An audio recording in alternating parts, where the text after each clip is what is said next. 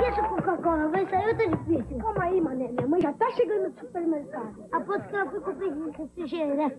Coca-Cola, hein? Refrigerante. Coca-Cola. Aposta quanto? Aposto gatão? Aposto. Oi, gente. Mãe, você trouxe Coca-Cola, não é?